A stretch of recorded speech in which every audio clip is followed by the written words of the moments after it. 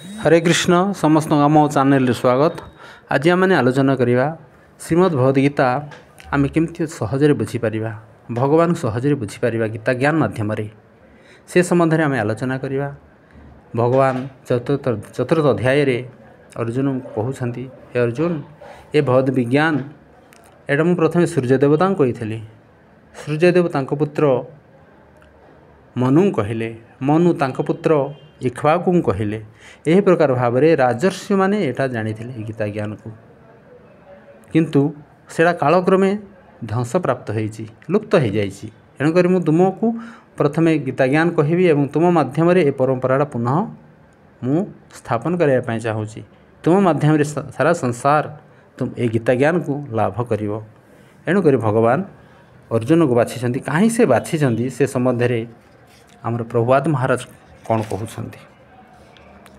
କାହିଁକିନା ଭଗବାନ ଭଗବାନଙ୍କର ଅତି ପ୍ରିୟ ହେଉଛନ୍ତି ଅର୍ଜୁନ। ଭକ୍ତ ସୀମେ ସଖା ଚେତି ରହସ୍ୟମ ହେତଦୁତ୍ତମ ଭଗବାନ କହୁଛନ୍ତି ସଏବାଂ ମାୟାତ୍ୟ ଯୋଗ ପ୍ରୋକ୍ତ ପୁରାତନ ଭକ୍ତ ସୀମେ ସଖା ଚେତି ରହସ୍ୟ ହେତଦୁତ୍ତମ ଭଗବାନ କହୁଛନ୍ତି ତୁମେ ମୋର ଭକ୍ତ ଏବଂ ସଖା ଅଟ। ତେଣୁ ମୁଁ ଆଜି ତୁମକୁ ସେହି ପୁରାତନ ଯୋଗ କଥା ଅର୍ଥାତ୍ ଜୀବର ଭଗବାନ ସହ ଥିବା ସମ୍ବନ୍ଧ ବିଜ୍ଞାନ କଥା କହୁଛି। ତୁମେ ମୋର ଅତି ପ୍ରିୟ ଭକ୍ତ ଓ ସଖା ହୋଇଥିବାରୁ ତୁମେ ଏ ବିଜ୍ଞାନର ଦିବ୍ୟ ରହସ୍ୟକୁ ବୁଝିପାରିବ। ଏହାର ଭାବାର୍ଥ ପ୍ରଭାତ ପ୍ରଭାତ ମହାରାଜ ବହୁତ ସୁନ୍ଦର କହୁଛନ୍ତି। ଦୁଇ ପ୍ରକାର ଲୋକ ଅଛନ୍ତି। ଭକ୍ତ ଓ ଅସୁର। ଭଗବାନ ଏ ବିରାଟ ବିଜ୍ଞାନକୁ ଶିକ୍ଷା ଦେବା ନିମିତ୍ତ ଅର୍ଜୁନଙ୍କୁ ବାଛିଲେ। କାରଣ ସେ ହେଉଛନ୍ତି ଭଗବାନଙ୍କର ଜଣେ ପ୍ରିୟ ଭକ୍ତ ମହାନ ଭକ୍ତ ଅତି ବିଶ୍ୱସ୍ତ ଭକ୍ତ ସଖା କିନ୍ତୁ ଯେ ଅସୁର ସେ ରହସ୍ୟମୟ ମହାନ ବିଜ୍ଞାନକୁ ବୁଝିପାରିବ ନାହିଁ ତା ପକ୍ଷରେ ବୁଝିବାକୁ ସମ୍ଭବ ବହୁତ କଷ୍ଟ ହେବ ତା ପକ୍ଷରେ ଏହା ବୁଝିବା ସମ୍ଭବପର ହିଁ ନୁହଁ ଏହି ବୌଦ୍ଧ ବିଜ୍ଞାନ ବା ଗୀତା ଜ୍ଞାନ ଏହି ମହାନ ଗ୍ରନ୍ଥର ଅସଂଖ୍ୟ ସଂସ୍କରଣ ରହିଛି କିନ୍ତୁ ସେଗୁଡ଼ିକ ମଧ୍ୟରୁ କେତେକ ଭକ୍ତମାନଙ୍କ ଦ୍ୱାରା ଲିଖିତ ଓ ଆଉ କେତେକ ଅସୁରମାନଙ୍କ ଦ୍ୱାରା ଲିଖିତ ଭକ୍ତମାନେ ଦେଇଥିବା ଭାଷ୍ୟ ପ୍ରକୃତ ଭାଷ୍ୟ ଅଟେ।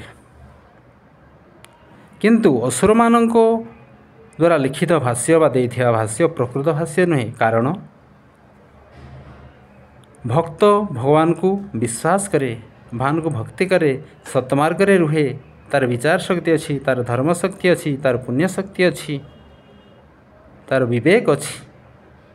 ଏଣୁକରି ସେ ଭକ୍ତ ଯାହା ଭାଷ୍ୟ ଲେଖିବ ଭଗବାନ କଥା ଉପରେ ତାହା ଶୁଦ୍ଧ ଅଟେ କିନ୍ତୁ ଯେଉଁ ଅସୁରମାନଙ୍କର ଭାଷ୍ୟ ସେଇଟା ପ୍ରକୃତ ଭାଷ୍ୟ ନୁହେଁ ଏହା ଅଦରକାରୀ ଅଟେ ସେ ପୁଣ୍ୟ ମାର୍ଗରେ ଲୋକମାନଙ୍କୁ ପ୍ରେରଣ କରିବେ ନାହିଁ ସେମାନେ ଅଧର୍ମ ମାର୍ଗରେ ପ୍ରେରଣ କରିବେ ଏଣୁକରି ଭଗବାନ ଅର୍ଜୁନ ବାଛୁଛନ୍ତି ଯେ ଅର୍ଜୁନଙ୍କ ମାଧ୍ୟମରେ ଏଇଟା ଗୀତା ଜ୍ଞାନଟା ଆରମ୍ଭ ହେବ ଅର୍ଜୁନ ଶ୍ରୀକୃଷ୍ଣଙ୍କୁ ପରମ ପୁରୁଷ ଭଗବାନ ରୂପେ ଗ୍ରହଣ କଲେ ତେଣୁ ଅର୍ଜୁନଙ୍କ ପଦାଙ୍କ ଅନୁସରଣ କରୁଥିବା ଗୀତାର ଯେକୌଣସି ଭାଷ୍ୟ ପ୍ରକୃତ ଭକ୍ତି ଯୋଗ ବିଜ୍ଞାନ ଅଟେ।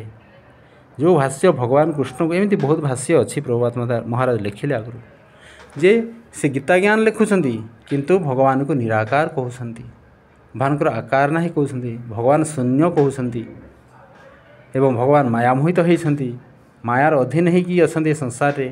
ଏ ପ୍ରକାର ଜ୍ଞାନ ଦେଉଛନ୍ତି ଯଦ୍ୱାରା ଲୋକମାନେ ଭ୍ରମିତ ହେବେ। ଭଗବାନ ପ୍ରତି ତାଙ୍କର ଶ୍ରଦ୍ଧା ଆସିବ ନାହିଁ। ଭଗବାନ ଏବଂ ଆମ ମଧ୍ୟରେ କୌଣସି ପାର୍ଥକ୍ୟ ସେ ଆଉ ଜାଣିପାରିବେ ନାହିଁ। ସେ ଭାବିବେ ମାୟାବାଦୀମାନଙ୍କର କଥା ଅନୁସାରେ ବା ଅସୁରମାନଙ୍କର ଭାଷ୍ୟ ଅନୁସାରେ ଆମେ ଯେମିତି ଭଗବାନ ମଧ୍ୟ ସେମିତି। ଏହା ଭାବିବେ। ଆଉ ସେ ଭକ୍ତ ହୋଇପାରିବେନି ଭଗବାନ ଭକ୍ତି କରିବେ ନାହିଁ।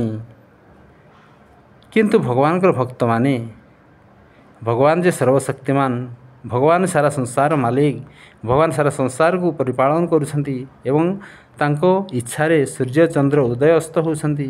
ଏ ପ୍ରକୃତି ତାଙ୍କ ଇଚ୍ଛା ଅନୁସାରେ କାର୍ଯ୍ୟ କରୁଛି ସମସ୍ତଙ୍କୁ ଫଳ ଫଳ ଫୁଲ ଶସ୍ୟ ପ୍ରଦାନ କରୁଛି। ଏଇଟା ଭକ୍ତମାନେ ଶିକ୍ଷା ଦେବେ। ଏଣୁକରି ଭକ୍ତଙ୍କର ଭାଷ୍ୟକୁ ଆମେ ଶୁଣିବା ଉଚିତ। ଅସୁର ଅସୁରମାନଙ୍କର ଭାଷ୍ୟ ଶୁଣିବା ଉଚିତ ନୁହେଁ। ଅସୁରମାନ ଅସୁରମାନେ କ'ଣ କରନ୍ତି? କୃଷ୍ଣଙ୍କ ସମ୍ବନ୍ଧରେ ଅନେକ ମନଗଢ଼ା କଥା ସେଥିରେ ଯୋଗ କରନ୍ତି ଏବଂ ସାଧାରଣ ଲୋକ ଓ ପାଠକମାନଙ୍କୁ ପଥଭ୍ରାନ୍ତ କରାନ୍ତି। ଭଗବାନ ଶ୍ରୀକୃଷ୍ଣଙ୍କର ପ୍ରକୃତ ଉପଦେଶ ସେମାନେ ଦିଅନ୍ତି ନାହିଁ।